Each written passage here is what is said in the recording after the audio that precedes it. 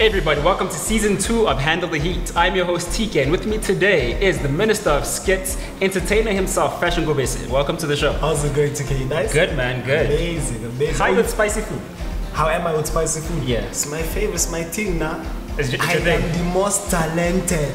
Well, we saw your video on Instagram, and I don't know if you saw all the comments. Everyone was saying, Yeah. listen, come to Handle the Heat. Let's I see So, in case you don't know, um, we at 4th Avenue, 27 boxes in Melville, and it's about to go down with Fash Ngobese. You ready for this? I'm being, bro.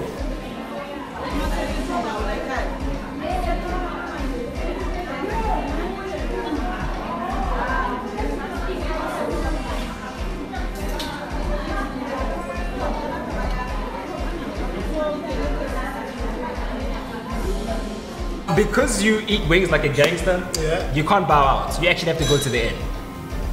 I'm hungry, first of all. You think I'm a power? hey, it'll be hot down there, chief. And you're the opener of season two, so this this Is has to be good. Yeah. It has to be special. You need that Alright. show that part. Let's go. Says she's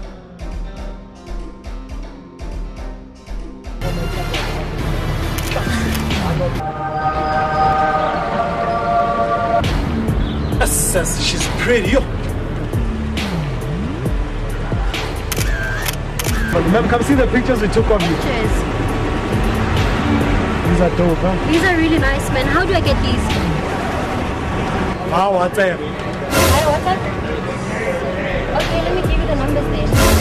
See what's up, see how before. I'm out here riding in my Shaka Zulu. I see what's up. So you came up making skits, Mm.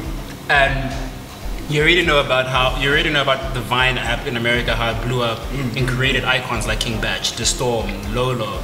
Was that the first inspiration? I can't lie, hey, yeah, it was. But my, my favorite skit maker of all time has to be Reggie Cuz. That's that's the OG, yo, the G-O-A-T of this whole thing. What what what skit did he make that made that made you go, okay, it's time. I'm about to do this. Are you mad? Oh nah. You guys don't know it because you're sleeping. You're sleeping. Okay. But yeah, it was that one. It's, it's a very dope skit. It's, it's like six seconds. Remember Vine had like six Yes. seconds, so you had to compile everything within that six seconds and get the message across and still be funny. So like that's why I look at them abroad and be like, yeah, no, buy a yens are dead. You know what I'm saying? Were you always identified as someone who's funny? Yeah, I've always been the goofy dude in class. Like I've always been crazy. I was the you see in the class that dude that sits at a corner there, yeah, yeah just causing havoc. I was that dude. And then you realize you can actually turn your havoc into an And then I fell in love with gadgets, cameras, and all of that. That's how this whole thing came about. Okay, okay. Yeah. I like that. I like where this is going. Tell me, tell me about your relationship with OK Wasabi. You guys look like you boys, and I know he's like your. He, he might as well be your best friend the way you guys are rolling. He's also a content creator he's doing amazing Yeah, yeah, things. he's, he's, he's doing very well for himself, man. Okay, what's up? He's a very dope dude. He's he's actually the first person who showed me that skit making is possible in Zanz. You know what I'm saying? Like he showed me that you could be someone off of the internet. You understand? And and by with that said, like it was also more in a direction I wanted to take. You understand? So it kind of like made sense. Yeah. That's how like it came about. He's a very dope dude. So skit making, from from turning skit making into a business, Mm. was that the, was that a long route? Was that a hard route? How did that go? I had no plan. I just wanted to be known. I didn't know how I'd like make a living off of this, but obviously as I grew in the game, my mind expanded and I figured ways in which I could like create a bit of income. Like I say, siyaphila nje I'm saying my ways, you know what I'm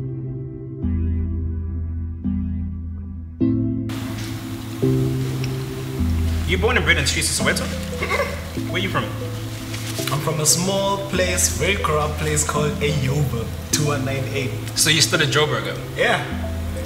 Considering the culture that we're in and the demographic that you relate to, mm, mm, mm. does it is it does it bother you in the sense that you are appealing to a, a crowd that isn't necessarily your billionaire white collar crowd?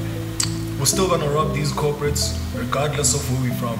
You know what I'm saying? Like me being from Yoba never really blocked anything. Instead, it helped me grow my mind just to figure out ways in which I could make it out because it's a very not so easy place, bro.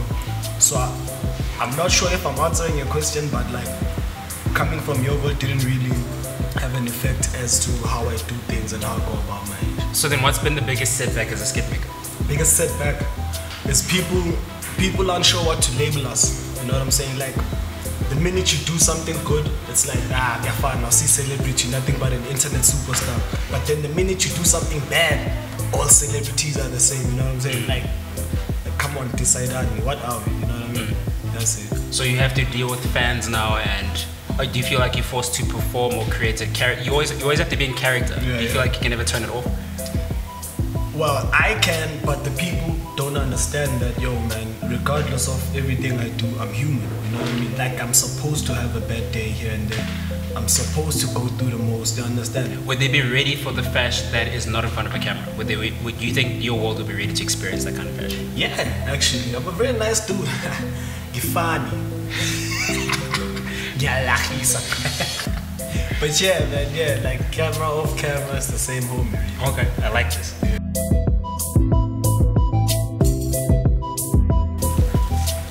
These are dope, bro. I don't know, am I supposed to have tapped out by now? No, we'll see. We'll see. Congratulations on winning your award at the Hip Hop Awards. Oh yes, yes, Yes, yes. God. Best local brand. You already know. How, how's it, how did that relationship even come about? Um. Well, okay. SGOD is founded by Umpo Magua, right? Who's like a friend of mine. He's been a friend of mine since primary. We went to the same school. We're actually taught by the same teacher, who's his mom. You understand? So like since primary, it's been we've been growing together. Okay. So so Escort is a hip hop clothing line. I wouldn't say hip hop clothing line. It's it's an urban brand, yeah. And you're, an, you're the ambassador now. Yeah, along with uh, a lot of other creators like Robot Reggie Boy. Fresh, you got Robot Boy, MT. You know what I'm saying? Like there's a lot of us. Okay, so what, what does 2019 look like for you and Escort? Uh, for us, yo, a lot of Star Sundays, you know, because they host a lot of events. And I'm like, uh, along with uh, King Culture, Tafaya, Lwazi, with the lead host, you understand? So, like, with a new year comes a lot of new things, new possibilities, new events. So, it's just another year of African it up. yep, I, I, I stuck to the I stuck to the script, fam. Smooth, I see you, I see you, I see you. Yeah, Alright, it's time for that mangadi sauce. UK? I'll give you a few seconds. Mhm. Are you actually tasting? You were saying? So what was your what was your worst clip? Like what skit did you make? Did you feel that you feel this well everyone's going against it or you feel this was a fail of the clip but you're gonna leave it out there?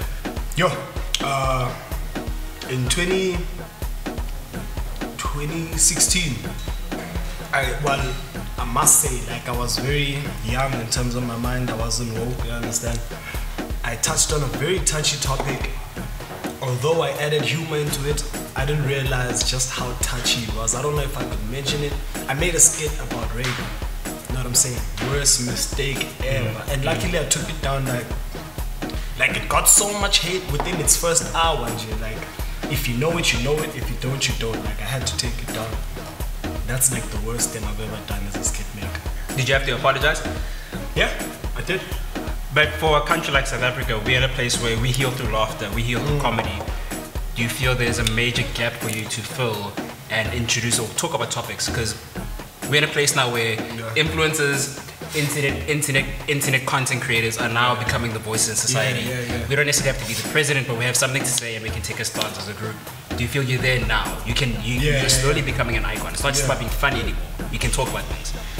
yeah uh, with that yeah but also i realized that there's some things that are just like way too deep you know what i'm saying like no matter how much humor you add into it there's always some for example the topic we just touched on I had victims of rape who were like, you know what I mean, having troubles dealing with what had happened to them. And like for us to just like j- casually just bring it up, okay, it's a skit, get the views, get the laugh, you know what I mean? I learned the hard way that yo, fair that we might be fun, we might be the voices, obviously we use satire in our skits to like tackle real topics, but some things are just a stretch, you know what I mean? And I had to learn that the hard way. Yeah. Are you- Why are are you you- crying, bro? Are you nice? No, I'm listening. I'm not crying. I'm good. Alright. I saw the I saw the inhale though. Look like you. Uh, Yeah. No, you got it. You got it. It burns the lips more than the. For all you guys who cried very while I you know what I'm saying, I've been watching you all cry. This is how you handle it. Show this part also. Take us through the process of creating a skit, from idea to product.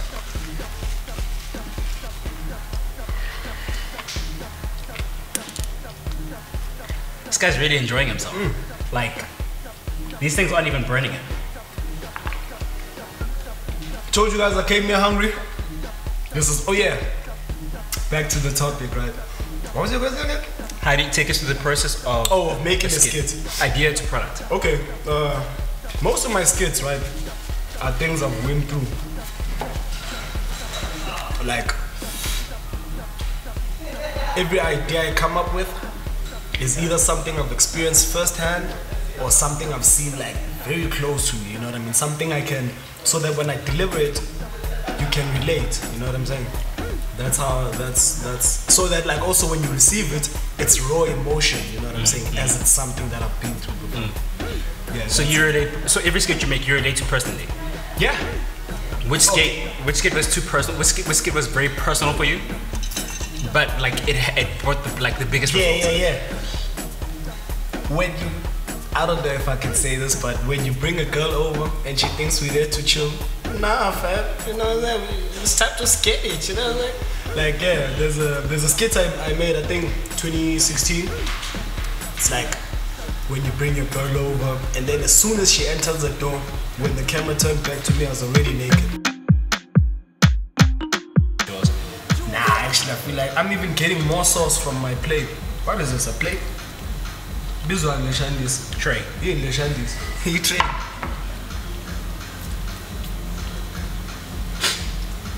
Why am I sniffing? Because you're not a gangster. I'm not a gangster. So, among this comedy network or network of comedians and skit makers in South Africa, who do you look up to the most? Who's your top? I, I don't ask who's your top five because you're all friends. You can't Yeah. rate, but you guys are like a network. Right, number one, this other guy called the Minister of Skits. Fash. You know what I'm saying? I mean, come uh, alright. Number two has to be my boy Tafaya. Very funny to me. Yeah. Number three, I gotta give it to uh, there's a lady called Lumela. I don't know if you'll know her. Taura. She's close, so you'll better check her out. Number four, there's a lady called um, Lebu. Uh, Ceci Makoya. She's very dope. And number five, have to give it to Leon. Okay. Leon Kumete is from Durban. He's very He's doing the most. at most. Does that make sense? Yeah. Th- then now my top five in real life. Okay, obviously Trevor. Now then that's our timer. Kagiso Lediga. Um, what's the new homie's name? He just went to Comedy Central. Loyiso Loyiso Mandinga. No, he's so Mandinga. Yeah. What's his surname? Mandinga. Mandinga. Uh, Ebenezer. As well as uh, number five, so. You like rated Sama. everyone.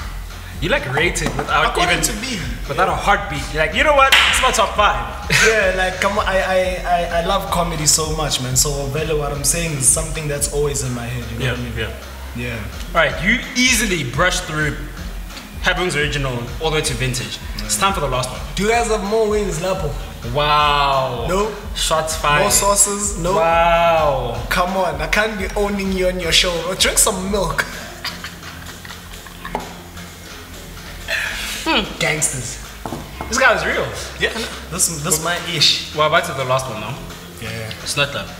I don't know if you're gonna say last praise because you're doing well, but you don't know what the last one's like. I feel like it, it ain't even sourced enough. Yeah, it's not sauced enough. It's sauced on one side, sauced the other side. Hot. You ready now? Hot. Yep. Sorry, I won't do this because I know what I'm getting into. I don't know what's wrong with it. I'm a gangster. That's what's wrong with me. a wing gangster. You ready? Trust.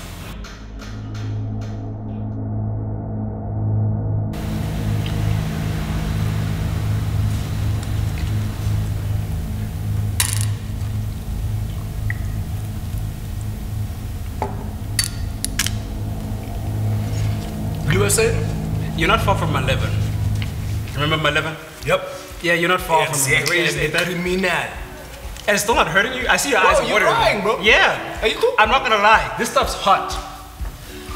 Got this. Mm, mm, mm. By 2019, first of all, we're gonna kick started with our high school tour. I, alongside my team, Jan Entertainment, we're just gonna be touring around high schools, entertaining, sharing knowledge. Bro, you good? I'm good. I'm listening.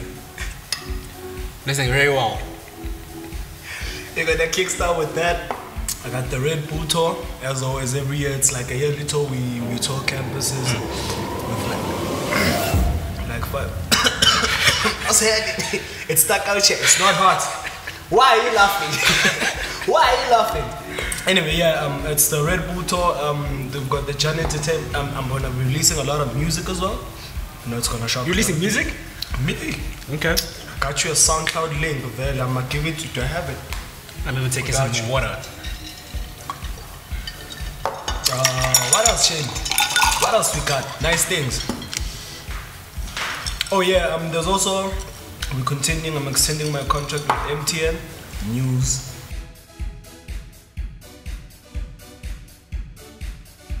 What's happening, everybody? It's your boy Fash Ngobese. I just came through here and I dusted the wing challenge.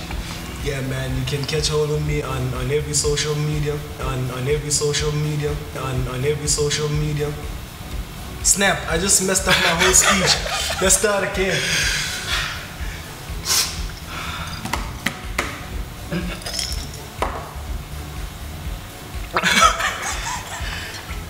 I don't know what's happening all of a sudden, bro.